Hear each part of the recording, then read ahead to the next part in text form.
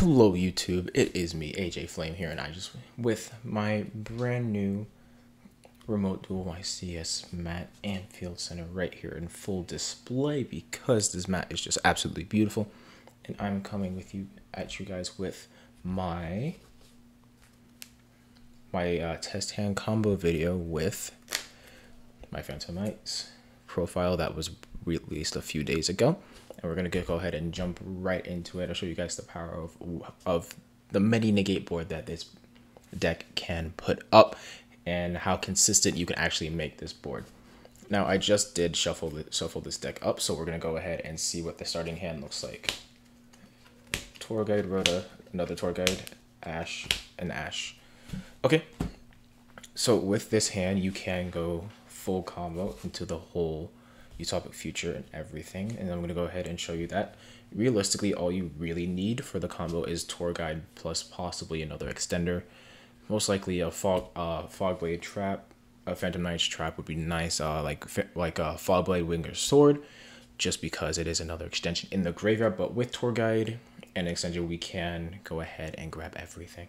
So first off we're going to obviously go ahead and fire off ROTA just because to grab Kagemucha Knight so you can chain block well, just to make sure that your tour guide always goes through.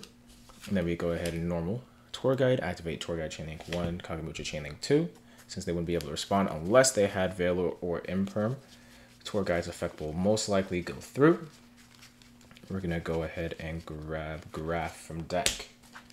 Now this is pretty standard 1-2 combo, but with having the extender on the field like Kagemucha Knight, it is very nice. So if you act, so it protects Cherubini from Gamma. Because once you activate, if let's say your opponent has Gamma, you know, Cherubini is on the field, you go ahead and activate Cherubini's effect. You don't want to send the Graff that you have. You can go ahead and send off Kagemucha just so Cherubini is safe. But for sake of getting through combo, we're going to go ahead and get through, we'll walk through the steps of the combo. Now, since Graff was sent to the graveyard, you're going to go ahead and special summon Cir from your deck. Just here. And then we're going to go ahead and activate Cherubini's effect. And the Cherubini does send for cost, so... And you'll target a Burning Abyss and it'll gain the attachment. We're going to go ahead and send Ancient Cloak right here. Now, since Cherubini does send for cost, your opponent cannot ash your Cherubini dump from, to the grave. Alright, from this point, we're going to go ahead and link 3 into Rusty Bardiche. Alright, and now we're going to go ahead activate Cir's Effect and Grave, special Cherubini back. The zone doesn't really matter as long as it's not into one of the zones that Bardiche is pointing at. We're going to go ahead, activate Bardiche, and we're going to send Torn Scales to the graveyard, setting uh, Shade Brigandine to the field. And since you, as of right now, have no traps, you can go ahead, activate Shade, and special. Now, since we did have Kagemucha Knight, this is very nice. You can go ahead and just straight go into an Apollousa for three. Now, although this this doesn't avoid Nibiru at all, this is this is most likely this is a definite game one if you are going first combo to get into uh, Draco Future just because it is a lot easier game one and Nibiru is usually cited in a game two. So when you get game two, you can you most likely do want to opt for this route if you're gonna wing first just because Nibiru is a very, very high chance of being sighted and high of being in their hand. And plus, if you get interrupted, you also have different routes of play, which is also very, very nice. But Apollousa is already three monster negates in itself. And so how we're going to go ahead and continue this, we're going to go ahead and activate Ancient Cloak in the graveyard, banishing it to add a The Phantom Knights card. And the one we are going to go with is Silent Boots. So we're going to go ahead and put Silent Boots in our hand, and in the grave, the effect of Torn Scales will activate. And we're going to go ahead and special summon Torn Scales. Now, since we don't have a, a Fog Blade or a Wings in hand, we aren't going to be able to go full power combo as we would before, and I will show you guys that right after this one because there is a difference. So we're going to go ahead and use Torn Scales effect since we have another Ash in hand and once to return. We're going to go ahead and discard the other Ash and we're gonna go ahead and send to the graveyard Phantom Knight of Ragged Gloves. Ragged Gloves is your best choice here because it's so much utility, and plus you can banish it, dump a trap card, and special it from there. So you don't have to reuse because the trap card's banish effects are once per turn, and if they have a different name, you can go ahead and use that name again. All right, and so we're gonna go ahead, special boots via its own effect. We're gonna go ahead and overlay for our first Leviair. And then we're gonna go ahead, use Leviair's effect, and special summon the Ancient Cloak in attack position. Uh, this is not really that important to the combo, but it does help protect your Bardiche, giving it more attack points, so it is harder to run over for those decks that have that can pump out monsters that are easily over 2100 attack. So we're gonna go ahead, switch Ancient Cloak defense position using its effect, giving Rusty 800 attack boost, so he is at 28, 29, excuse me, at 2900. All right, and now what we're gonna go ahead and do, gonna go ahead and activate Gloves in the Grave, banishing it, sending Wings, sending Wing or Sword, whichever one you play. And then we're gonna go ahead, activate Wing or Sword, and special summon another Phantom Knight. Now, it could be that other one in the grave, but for this right now, since I only have boots in grave, we're to go ahead and special summon boots. Then we're going to go ahead, overlay again for our second Leviair, the Sea Dragon. And with this, we can use its effect. And in this case, I will use its effect. I'll go ahead. It doesn't matter which one you detach because all the materials are going to leave anyway. I'll go ahead and detach so I can bring a lot of ragged gloves onto the field. So we can go ahead and at least get him back to the graveyard just in case we need to go ahead and dump something again on the next turn. And plus he is another body on the board just in case some things happen and push comes to shove. And now we're going to go ahead, overlay these two into F0, you talk about future since Utopic Future can only be summoned with two Exceed monsters with the same rank aside from numbers of monsters, Leviair is the perfect target because it also it recycles your targets in your deck and also it's just it's easy for the easy for this deck to bring out because you are running so many level threes in the deck. That is just easy. And then we're gonna go ahead, uh, exceed up into Future Draco. Now you can. This is also this is another optional since you do have more Phantom Knights in the graveyard and you didn't use Boots' as effect, you can go ahead and banish Boots from the graveyard. And what we're going to do, we're going to go ahead and add a Fog Blade to hand.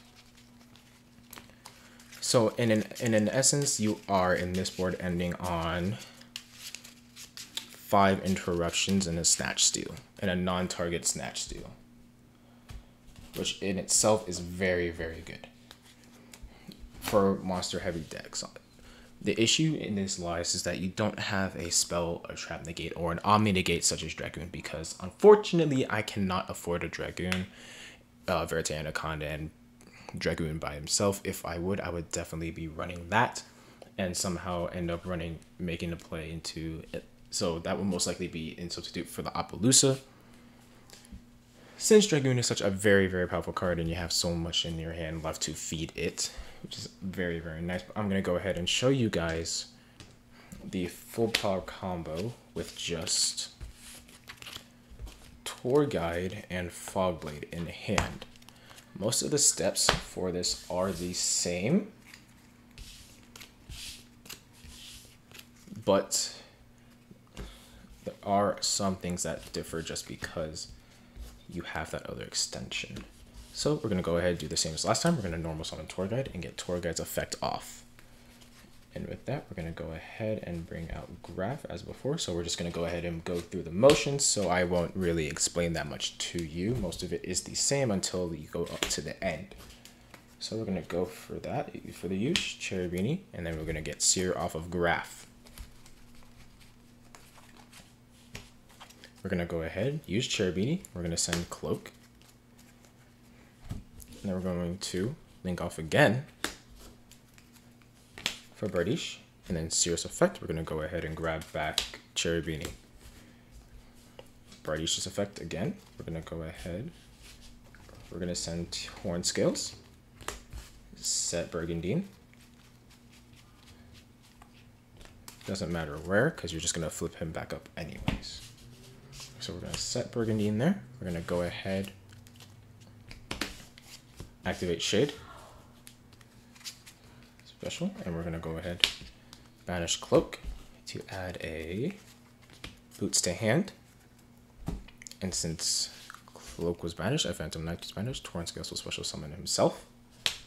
And then we're gonna go ahead and special summon Silent Boots. And then we're gonna go ahead for an Apollousa for three, since I do not own a Verte Anaconda or Dragoon. When I get my hands on them, then that would be in place for the Apollousa.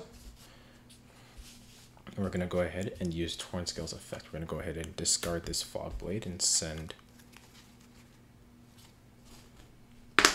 We're gonna go ahead and send Ragged Gloves to the deck. I mean, to the deck, excuse me, to the graveyard. Alright, and now we're going to go ahead and use the effective Fog Blade, banish it to bring back either one of these. We're going to go ahead and go with Silent Boots for now. Then we're going to overlay for the Leviair. For the first Leviair, special it, use that Leviair's effect. We're going to go ahead and detach Boots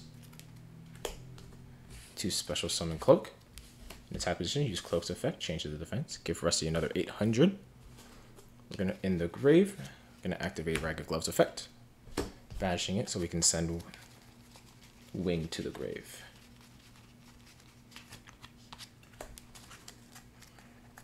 And then once that hits the grave, we're going to go ahead and use Wing, banish it, special boots from the grave. We are going to overlay into our Leviair. Go ahead, use effect, detach, and special ragged gloves. As you see, I did mess up here, but it is okay. We're gonna go ahead. These two are gonna go and make future, and then we're to go into future Draco.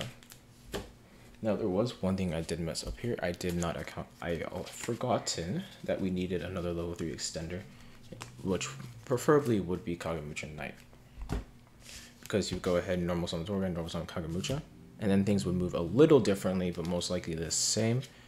You can you still grab Shade Brigandine and everything, but assuming we have Kagemucha, assuming that I didn't forget that, the combo would pretty much be the same. We would make Future first because we are going to end up going into Break Sword.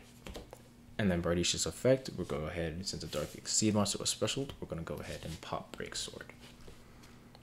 So we're going to pop that and then break swords effect will special any two phantom knights. We don't we want to keep boots in the grave. We don't want to special boots so we're going to special summon gloves and we're going to special summon cloak. And they are both level fours. Going to go ahead overlay these two for dark rebellion. And then we're going to go ahead activate boots vanishing boots. And we're going to go ahead and add the rank up spell card. The, the rank up magic launch. Gonna go ahead, add this to hand.